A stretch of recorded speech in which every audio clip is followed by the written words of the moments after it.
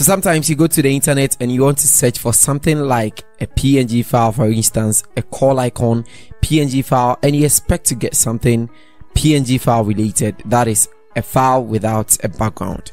But then it opens in Photoshop and then it surprises you with a background. How do you deal with this problem? In this video, we're going to look at how to solve that in a very simple way. And this is coming up.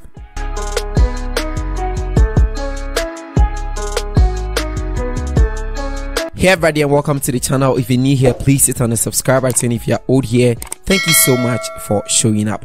So here in Photoshop CC 2019, I have four different PNG files. All of them, you're going to look at how any of them is applied. So the first one here is an actual PNG file that is, it has no background whatsoever. So whatever background that you give it, that is what it picks. So for instance, right one over here. So this is the background that it will pick. And at the same time, we have call icon number two. This is actually, or this was actually downloaded as a PNG file, but then you realize that it saves here as a JPEG. Now the third one here is also a PNG file. The file extension is .png, but then it shows that it is index. And then the last one is of course a png it looks like a png but it is also a jpg or a jpeg so how do you deal with these ones? Let's take the first one. This is an index file. So though it has a file extension of png if you decide to move it it moves with the whole background. And then you cannot actually do anything to this because it is already indexed. So you can't even unlock the background here. So when it happens that way all that you need to do is you go to your image here and then you go to mode and then you change the indexed color over here to either RGB or CMYK now, I took time to explain the meaning of RGB and CMYK in Photoshop. So if you want to see that, a link will be in the description. So this time around, the lock is gone, but then still it has the background. And that brings us to the second issue or the second case. So when it happens this way and then you want to get the actual background, it is quite simple. All that you need to do is you go and pick any of these selection tools over here. So i prefer to go with the magic selection tool because it just gives me one time selection. So i'll make a selection of all of that and i'm going to hit on delete.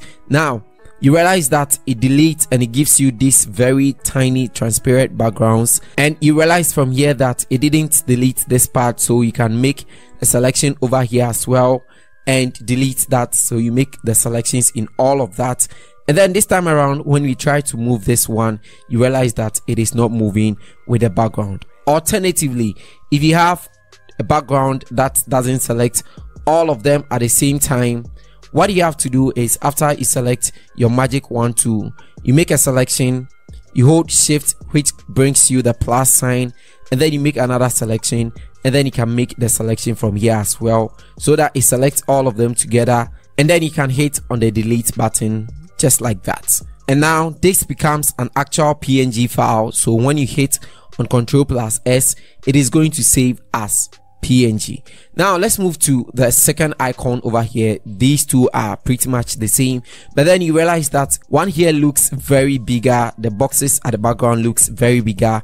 And this one looks quite simpler and very small. So in this case what you do is you just go ahead and unlock the background which is actually going to take us back to the one that we just did like this one. And then you apply the same principle so you can select and you hold shift and then you make your selections and then you can go ahead and then delete. It's that very simple. But then there are instances where you get png files that looks very bigger like this one. Of course this one is going to select just one time but there are instances where it can't select one time. So what you need to do is employ the strategy of the polygonal lasso tool or any one of them that is going to get you to kind of take off the background.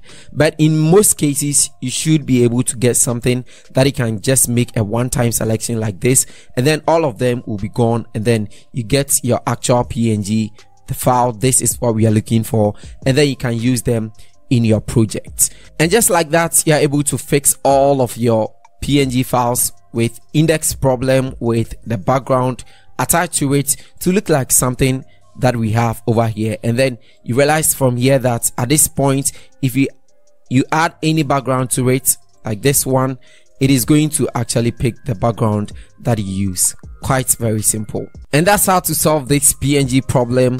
Very simple in photoshop. I hope this video was helpful. If it was kindly hit on the subscribe button. And don't forget to subscribe as well. I have also more photoshop tips if you want to check some of them out. I'll leave some of them on the end screen and check out the link in the description for more tips and strategies like this. Thank you so much for sticking around to watch this video.